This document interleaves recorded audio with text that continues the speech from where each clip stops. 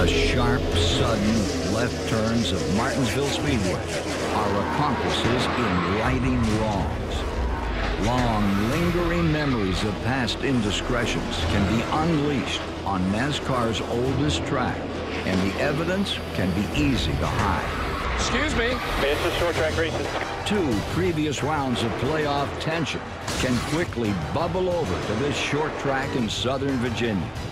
After Matt Kenseth found himself in the Kansas tornado of Joey Logano, You tell him. Tell him to hide behind his daddy. after a rather checkered final restart at Talladega, The four not going. They wrecked behind him. the intrigue of possible playbacks thickens. Rick turned right and wrecked the crap out of me, man. I'm sick. for Chase race number seven. Leaving all to wonder who might be bumped off next when the usual suspects line up. A nudge, Keselowski gets into him. a rub, There he goes. that's just racing becomes an alibi. What in the hell went wrong? He just bombed it in there like a moron. Motives can be murky on this half mile when the true meaning of a message can be lost in the shuffle on this paperclip.